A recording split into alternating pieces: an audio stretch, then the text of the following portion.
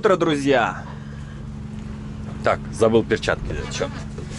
Ночь прошла нормально, пару раз настолько сносила, кстати, чем-то запачкал свои шорты. Очень неприятно, потому что это как раз мои последние новые шорты.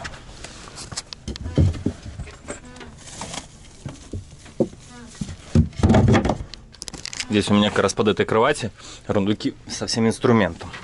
Берем перчатки и начнем красить вторым, с третьим слоем. Пока она пару часов пройдет, пока я это все подготовлю, соберусь. А, нигде мы ничего хоть не заляпали, надеюсь. Ну, растворитель вроде отмоется, а то был вечер, плохо было видно. Вот такое наше перо руля, вот так она переночевала. А, ну, вроде все. Ну, вот эта хрень тоже надо еще так же сейчас покрасить. Пятку. Мы ее еще покроем здесь силиконом. И все, и погнали. Так что приступим.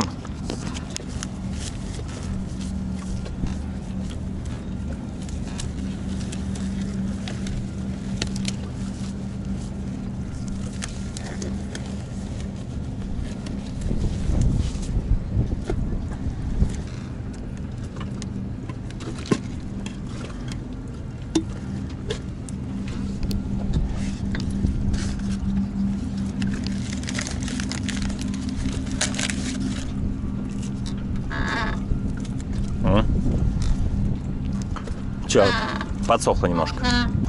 Ну, вроде как все. Сейчас мы теперь еще раз э, пройдемся наждачкой, потому что где-то замазюкал краской а, нижнюю часть и вот эту. И все. Идем завтракаем и будем спускать. Короче, какая у меня идея? Я открываю вот эту дырку. Вот этим краном пропускаю в эту дырку и вытаскиваю внизу. После этого опускаю на этой веревке э, баллер руля вниз, цепляюсь этим краном за верхнюю часть и получается просто начинаю тянуть. Ну, за счет того, что оборот будет здесь, а, не помню, как эти ванты называются. Ну, короче, как-то они называются. И получается, что этот кран будет поднимать баллер кверху, и нам останется только вариант поставить пятку, нырнуть. Так что погнали завтракать. Кстати, прикольно в том, что вчера мне вот эта компания, с которой я созвонился, говорю, типа он появился сигнал, заработал, а, типа, ребята, что делать? Они мне вчера ответили. Они говорят, ставьте его вертикально, потому что тут больше вероятность заряжать. Я им говорю, так он 4 дня стоял на солнце, без дождей, на мачте. Как еще можно его лучше зарядить? Типа горизонтально его неправильно заряжать, потому что уменьшается площадь. Короче, честно, мутная компания. Непонятно, что они имели в виду, что они хотят. Так, готовим, готовим. Убираем нашу крышечку. Добавим света. И лишние детали также в сторонку.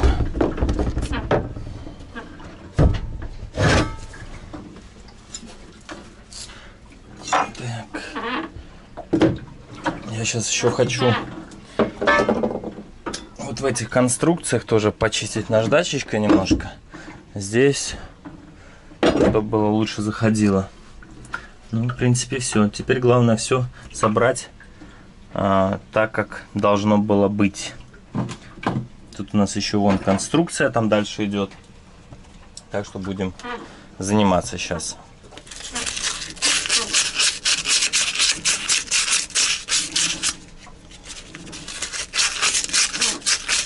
Все одновременно происходит. Жарим, варим, чайник закипятим. Ну аппетита, друзья!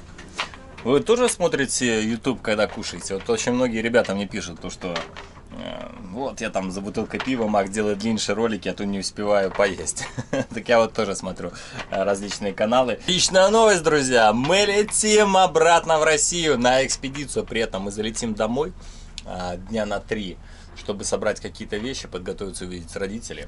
Так что у нас даже есть билетики. Мы летим на САО Нью-Йорк, потом э, Нью-Йорк, Москва. Вау. И даже приедем в Минск. Так что я прилечу не в Москву, а в Минск сразу. Круто, круто. Меня встретит вроде как папа. а, пару дней повещаю оттуда. И экспедиция. Я на самом деле очень хотел побывать в разных экспедициях. Мне очень интересно Северный полюс и Антарктида. И как раз это возможность немного прикоснуться за счет вот этой экспедиции на специально оборудованные техники Бурлак можете забить в интернете. Но в ближайшее время а, точнее в ближайшие недели мы сделаем уже к нему обзоры. Естественно, попробуем поуправлять, естественно, попробуем пожить. Это как дом на колесах, только вездеход, который может ездить где угодно. Поэтому, я думаю, будет интересно. Тем более мы будем ехать в серьезных северах. То есть с самой жары а, в реальную зиму. Посмотрим, что из этого получится. Две недели у нас будет нашего путешествия. Потом мы опять вернемся на Карибы.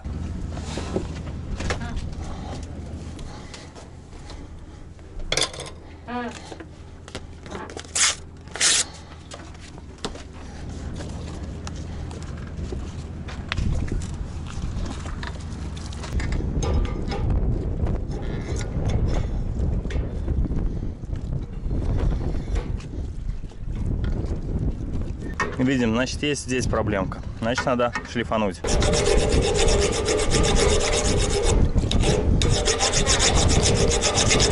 Этот верхняя часть, она вообще на самом деле не важна для вала. Она настолько где-то висит без дела и только для а, экстренного румпеля, который вот здесь стоит.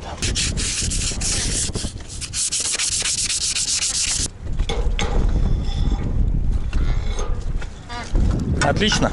Все детали смазываем, так как и ось Потом в дальнейшем мы ее просовываем, мы смажем и здесь втулку. Почему мы будем смазывать и ось? Потому что, ну, смазка сразу не смоется, а это немножко будет легче. Плюс э, я буду наносить силикон, я уже говорил ранее. Да, вот так она, видите, скрипит. Ну, что, кстати, тоже скрипела.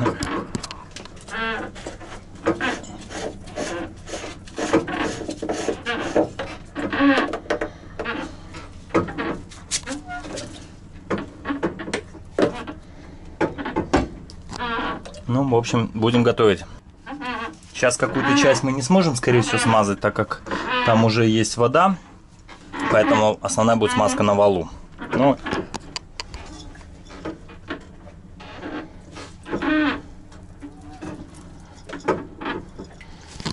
Это все можно делать потом было, когда уже вал бы вошел. Ну, просто чтобы не терять время, сейчас сижу все равно, ожидаю, пока краска почти досохла, потому что чуть-чуть она подлипает еще. Мы тоже смазали, друзья. Опять же, чуть часть смоется, часть нет. Опять же, все для того, чтобы легче входило. Плюс будем наносить еще дополнительно. Здесь я ничего не мазал на пластике, я намазал опять же на валу. Но здесь мы еще перед тем, как будем поднимать, мы его вот здесь намажем э, силиконом и опять же опустим воду.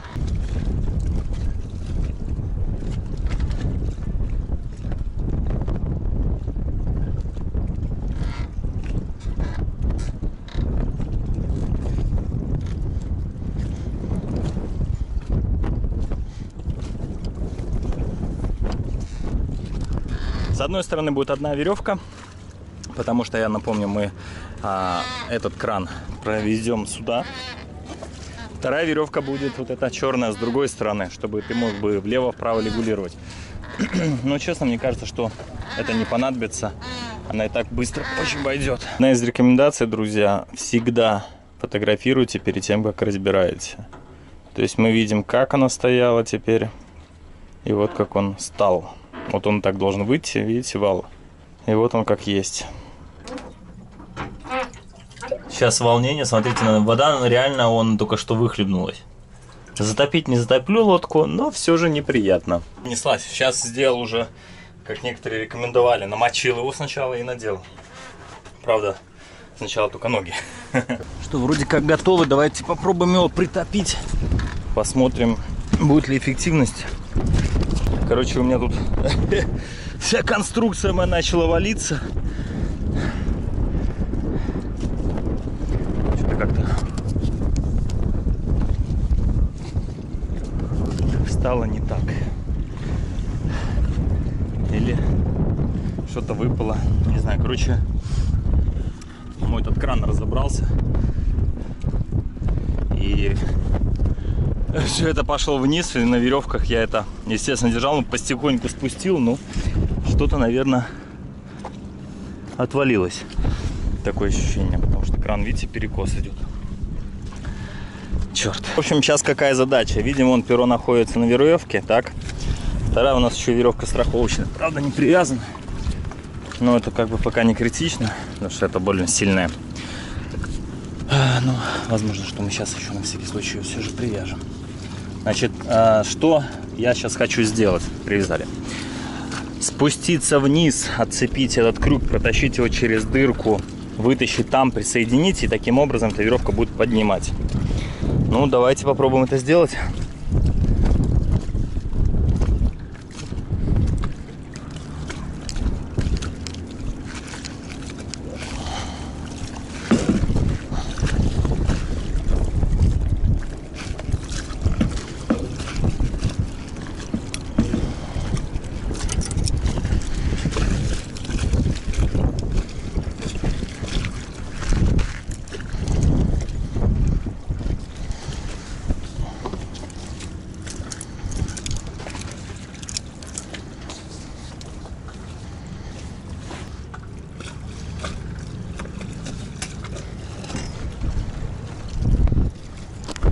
Вот, теперь мы сейчас спускаемся вниз, цепляем за него, и все.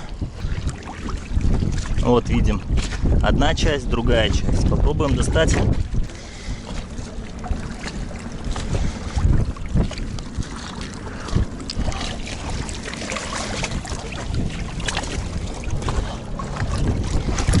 Не достаю.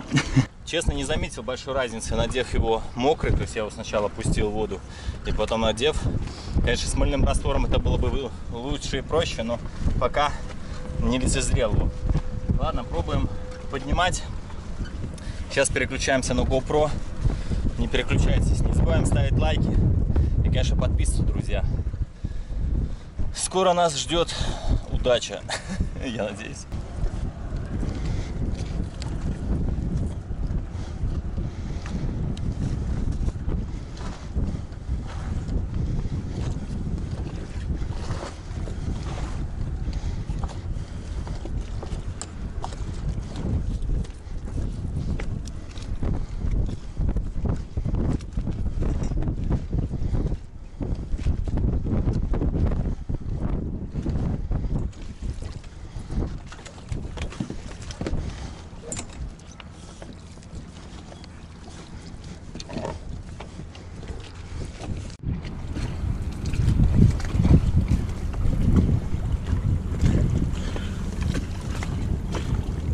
А, как прохладненько, так хорошо, в спинку сейчас поднимается водичка. У, я вам покажу даже свое лицо.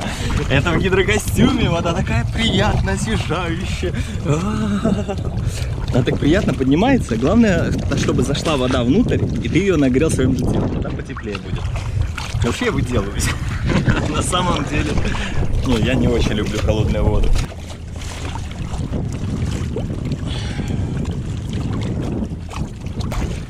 Надо чуть-чуть потянуть его вверх.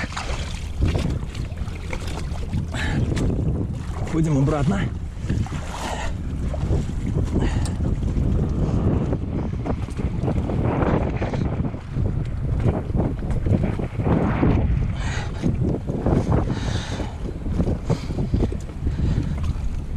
Может пойдет так. Дальше.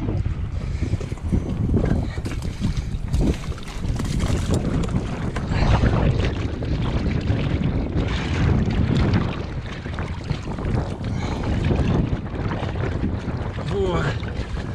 Почти. Есть. Мы теперь делаем? Смотрите, это как будет происходить под водой, друзья.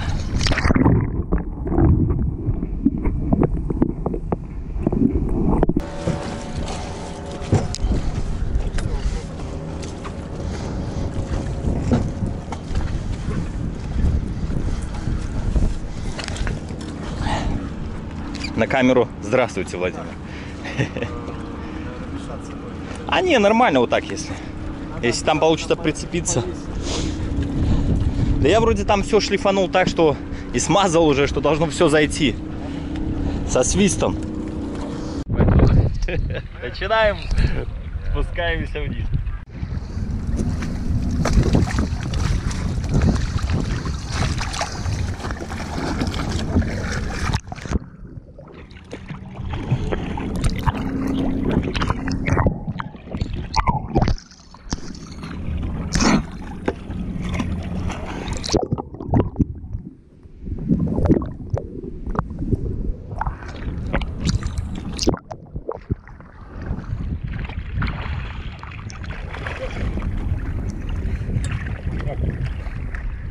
Теперь у нас вопрос, что надо поставить пятку. Да, да. Сейчас тут веревка немножко мешает, туда чуть-чуть приспустить.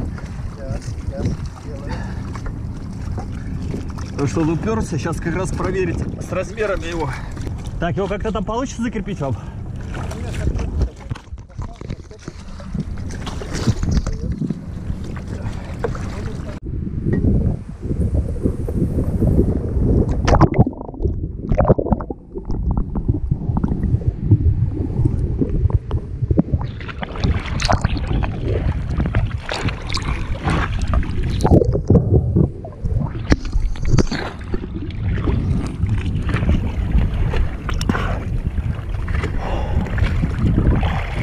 Блин, такое ощущение, что они высоковато его сделали.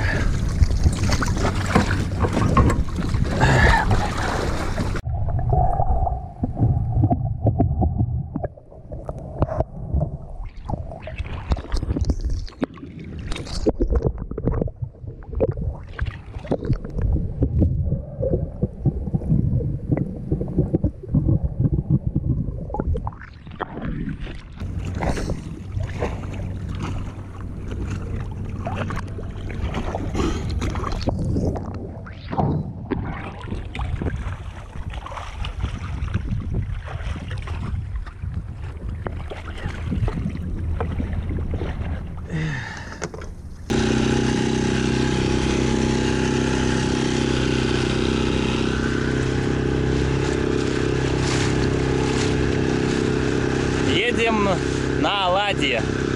Ну вот такие у нас красивые сегодня оладьи. Кстати, я их так давно не ел. Кстати, последний раз ел как раз у вас. Ну давно, в смысле, так основательно не ел. Так что мы будем чаевничать. Приятного нам аппетита. Что, попили мы чаю, едем резать бюро наше. Блин, конечно, это настолько фиаско. Жесть.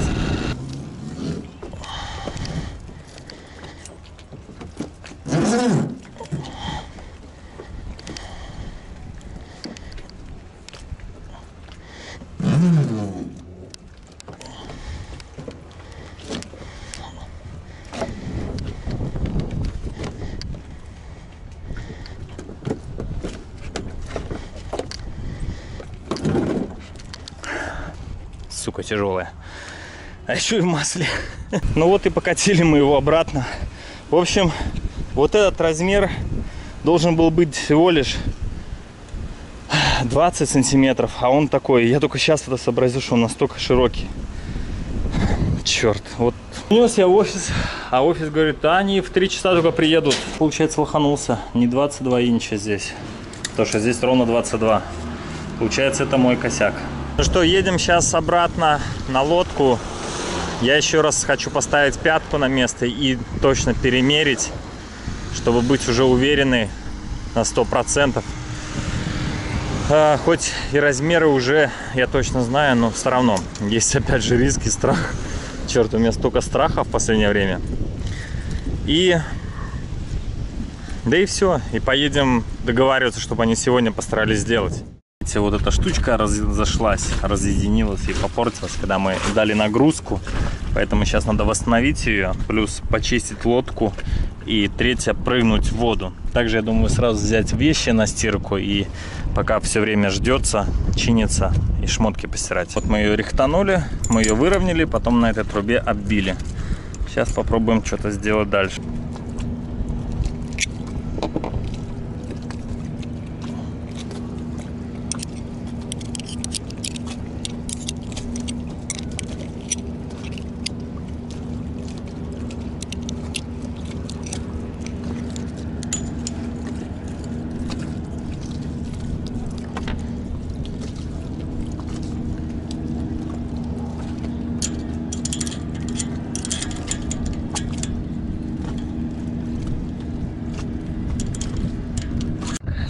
Что я хочу еще делать. Я сейчас поставлю пятку на место, забью тот же самый кол, или там не, даже не кол, а вот такую ось, и перемерю рулеткой, как она на 100% должна быть. Сейчас снимаем втулку, чтобы эта лишняя деталь никуда не уплыла.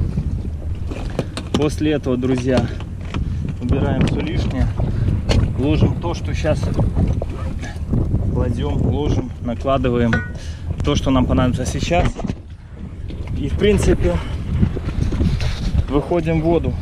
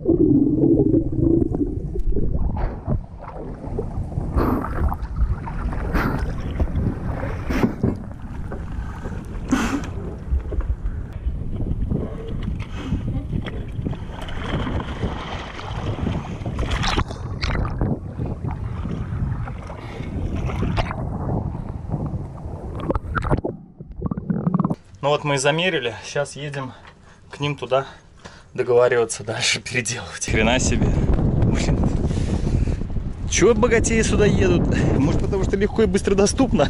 Я опять прибыл. Вроде кто-то приехал.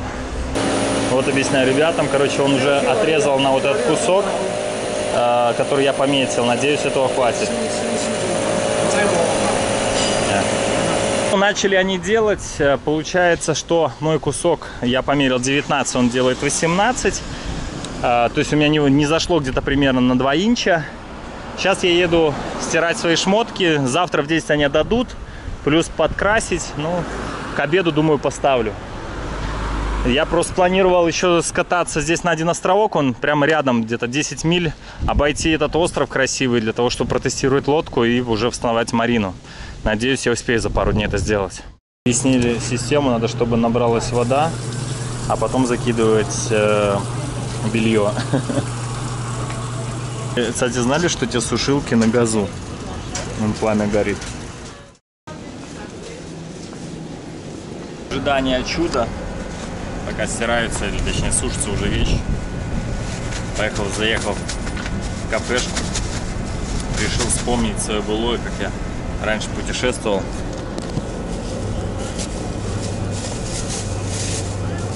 И ел везде, где можно уединиться.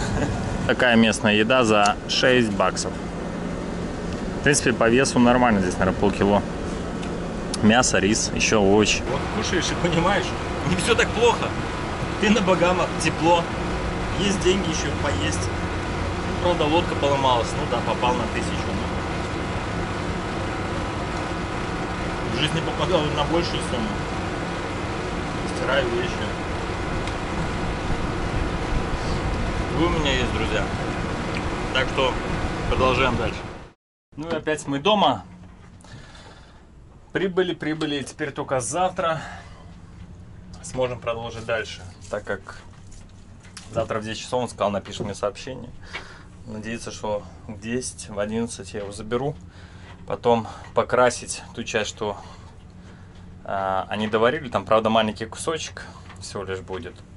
Поэтому я думаю, что если я его подкрашу, дам час-два высохнуть, и, или там часик высохнуть и еще один слой, то есть там, по идее, только будут швы, надо прокрасить, то можно будет ставить. Главное, чтобы вот эта часть, которую получилось, что ее подварили, опять же, по моей ошибке.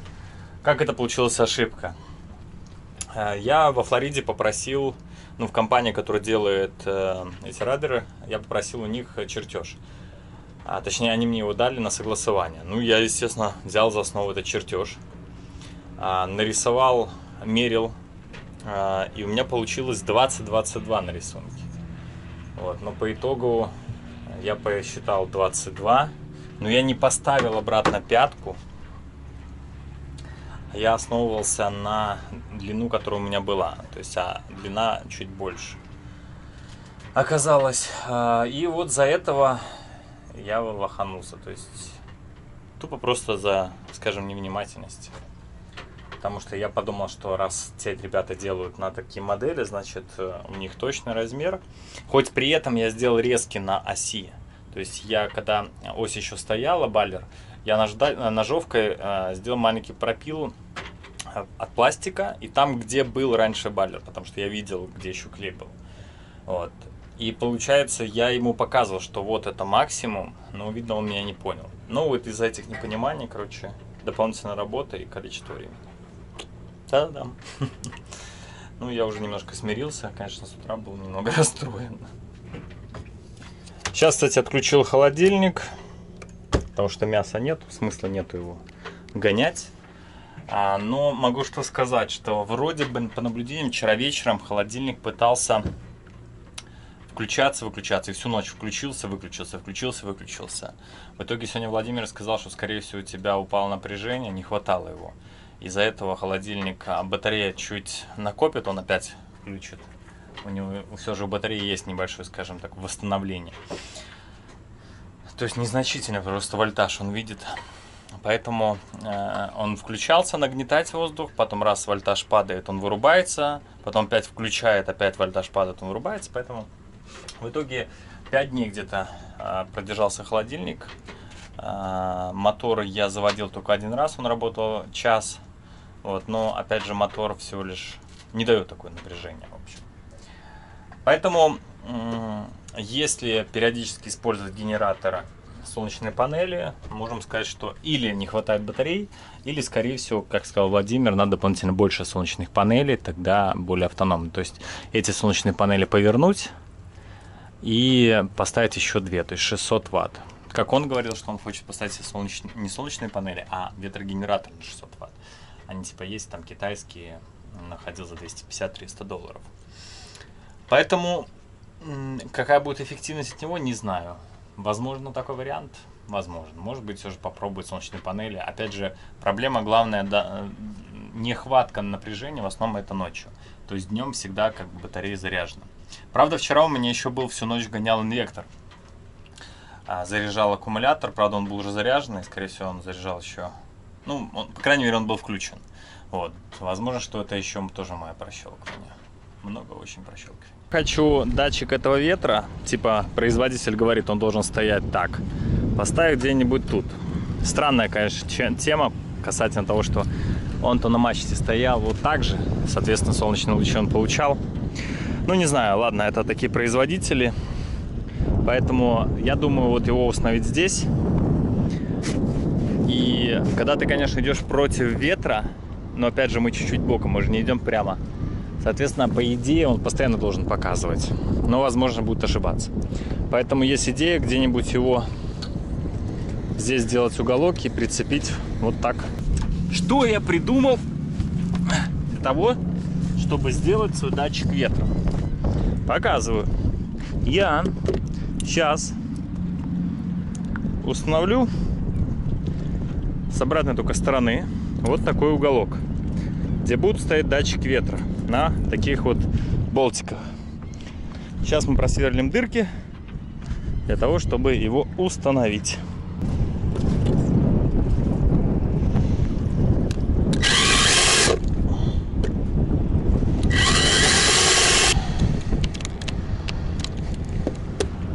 Вот так и сверлим. Такие иногда приятные волны приходят с ниоткуда. Эх, давай, милая, покатай меня. И потом понеслась. Ляп. Ляп. Вот так вот. Какая хрень получилась. Хрень так хрень, это точно. Я специалист по ловле водорослей. Просто на веревку. Только водоросли.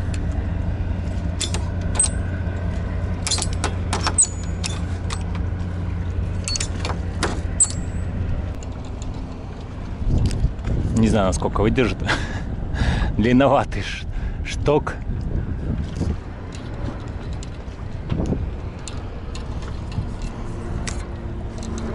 Ну вот так.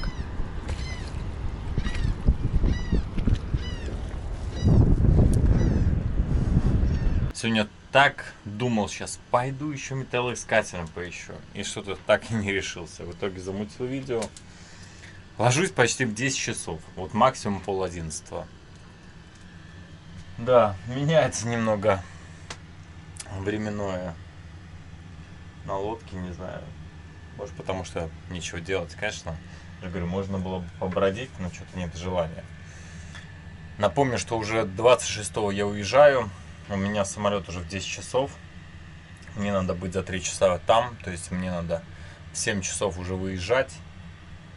В 6 подъем. Но честно, добраться до аэропорта еще та проблема. Короче, он находится от 18 километров от того места, где я буду.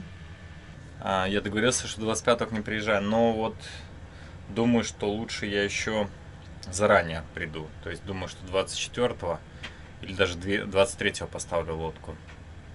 Потому что 25 это понедельник, я переживаю, что мало ли, а, если там что-то у них какой-то косяк, чтобы не получилось, что я уже улетаю, а мне лодку надо где-то кидать. Вот. А, и проблема в том, что в аэропорт, чтобы добраться, стоит 40 долларов. И это 18 километров, э, и это утром. Соответственно, это проблема. Или выходить за 3 часа, то есть это в 3 часа ночи. 3 часа надо идти туда. Либо брать такси. А еще вопрос, будет выходить ли такси. Все же такое вроде и город, и место. В общем, есть свои сложности, которые надо решить будет на днях. Все, на этой ноте мы прощаемся с вами, друзья. До завтра. Пока.